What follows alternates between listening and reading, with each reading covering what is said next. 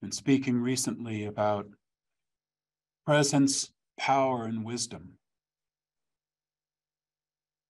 We could make it more complicated than that, but it seems like that's a good place to start.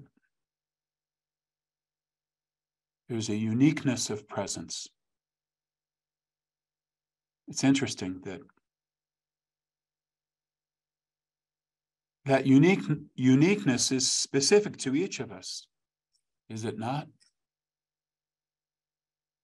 We somehow have to come to terms with the uniqueness of who we are, the being that we are. Having trust and faith and openness and the unique presence that we are, each of us. Having faith that that presence is a gift to the world.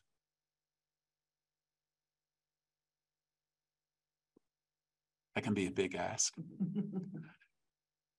but we find that while our presence is unique, it is not separate. Our unique presence is part of the oneness of presence.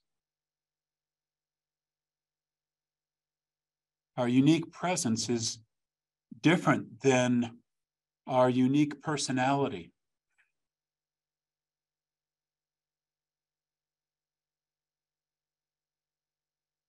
Unique personalities are separate and, in my experience, don't really harmonize that well. and yet, unique presence is part of one presence. But we have to have the faith to call upon that presence, to open to it, and know that it is there for us always. And then to know, to believe and know that our presence is a gift to the world, to other people.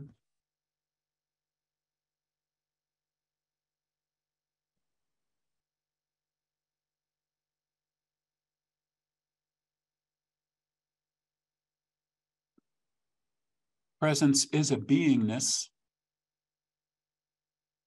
but it also comes with something that radiates from us. I think you might say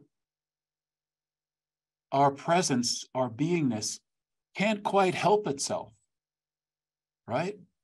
It can't help itself from shining.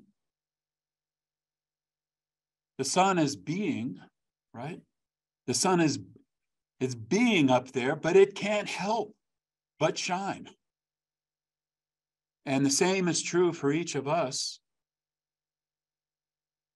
Our beingness. Not that we as a personality can't cut it off